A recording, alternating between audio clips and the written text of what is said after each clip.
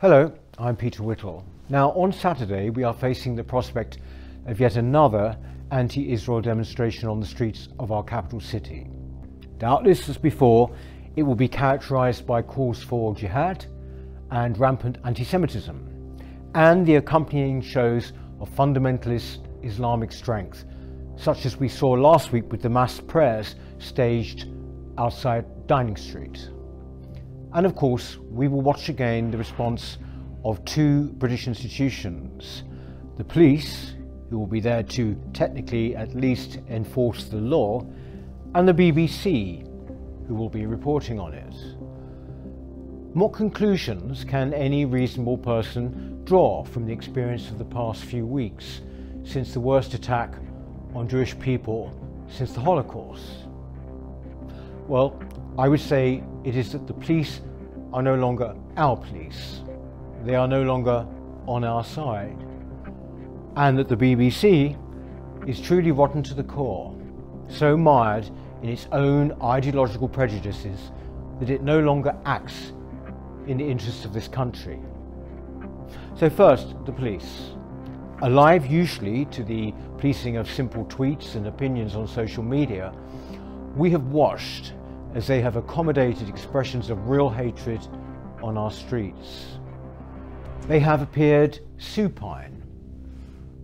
They have presumed to lecture us on the many meanings of jihad. And when looking out for racism or anything, quote, close to racism, they target, well, what? Why, of course, the English flag. For the moment, anything racist or even close to racism is said. Alright? Nothing has been said. No, hang on, no, no, no, haven't said no, anything. let me finish, let me on let me camera. finish, let me finish. alright? For the moment, anything gets anything close to that, alright? People are going to start getting arrested. That's a disgrace, but a very telling one. During my time as a London Assembly member, when I had numerous opportunities to scrutinise senior police, including the Commissioner, it became obvious to me that despite their protestations and their denials, Everything about their actions showed that they took very different approaches to different groups.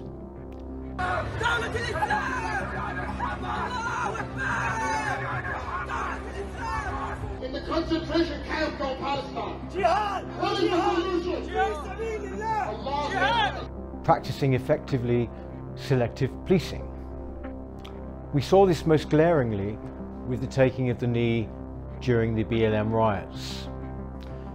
Now, it's often said that the top brass of the police are at fault, but that the ordinary rank and file remain the same as ever. Well, I have to say I am not so sure. It seems to me that the whole force appears to be infused with so called progressivism. It has entirely taken on board the politics of identity, of victimhood, and of woke thinking. Because of uh, various tweets he liked, as it were, he was called by a policeman who said that uh, he had come to check his thinking. Check his thinking. How else could we arrive at a position where, amid a sea of flags and slogans, the one flag police officers object to is the English one? Now, meanwhile, the BBC continues to degrade itself, or if you like, show its true colours, by parroting the Hamas line about the Israeli targeting of a Gaza hospital, jumping to the conclusion it obviously preferred. Although it later retracted this, the damage was already done. Similarly, it has, after much pressure, stepped back from describing Hamas terrorists as militants, although the description of them it now uses as, quote, designated a terrorist group by the UK government, unquote, still sounds ambiguous and rather distant. The BBC position is clear. Its driving political and ideological viewpoint has been on show over the past two weeks, even away from the topic of Israel. For example, it managed to air a discussion programme on BBC Two about Britain's massive housing crisis without a single mention, not one, of the effect of immigration through the entire one hour show. When you consider that our population has increased by 8 million in just two decades, that represents the entire population of Sweden, by the way, it is obvious that at the BBC, left wing ideology has replaced simple facts. And then just this week past, on CBBC no less, there was a disgusting attempt to indoctrinate children on the ideology of white privilege. How indeed they had it and how they might atone for it. Whether it be active or by omission, the corporation's outrageous bias can no longer be denied even by its staunchest supporters.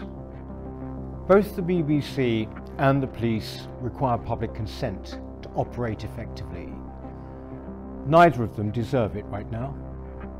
People like me have been saying this for a long time. I think the difference now is that this realization is dawning on millions more. What's also dawned on people is that the country has an increasing number of people who not only do not like this country, but don't share any of its values. What do we need to do? Well, first of all, I think there should be an outright ban on any further mass migration into this country. And as for the BBC and the police, or the BBC should lose its licence fee, that's the least that can happen. And the police need a root and branch reform. I think the country and its future depends on it. Thank you. Hello. If you're enjoying the New Culture Forum channel and you believe in our mission, may I invite you to join our membership scheme at the link below or on our website, newcultureforum.org.uk. Our work is more important now than ever and we have great plans ahead for the future, but we can't do it without your support. From as little as £3 per month, you can help ensure that we continue on our mission. As a member, you'll receive a range of benefits, including access to exclusive content, invitations to our private events, including here at our studios, free copies of our books, and much, much more, including, of course, our famous NCF mug. If you aren't able to become a member, then please help us by clicking this button and subscribing to our channel. It's completely free. Just remember to also click the bell icon so that you can get notifications when we post new videos. Thank you.